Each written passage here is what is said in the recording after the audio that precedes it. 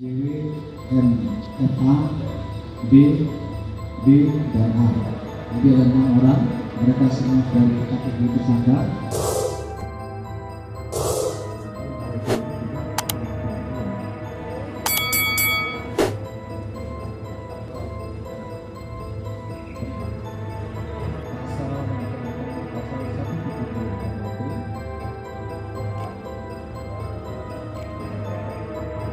Kegiatan ini terjadi kemarin rekan sekalian ya pada hari Selasa 7 Desember kurang lebih pukul 03.30 waktu Indonesia Barat.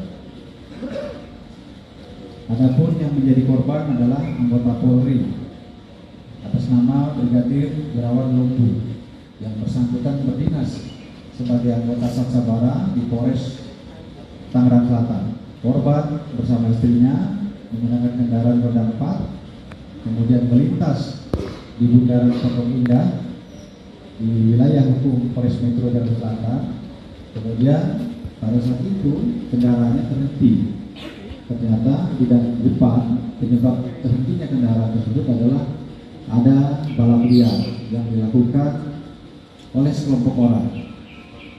Nah kemudian karena korban ini adalah sebagai anggota Polri, kemudian jiwa penolong dan pelindung pengayom masyarakatnya ini muncul sehingga mencoba membubarkan balap liar tersebut.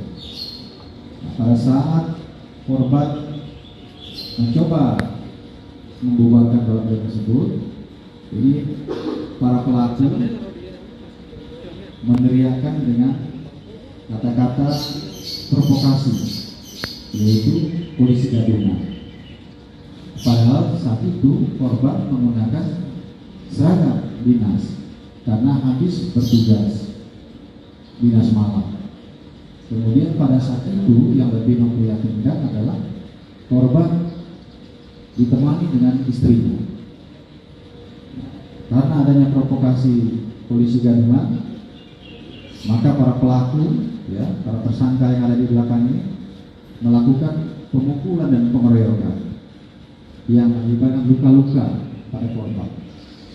Para tersangka ada enam orang, inisialnya EP, JW, M, FA, B, B, dan A.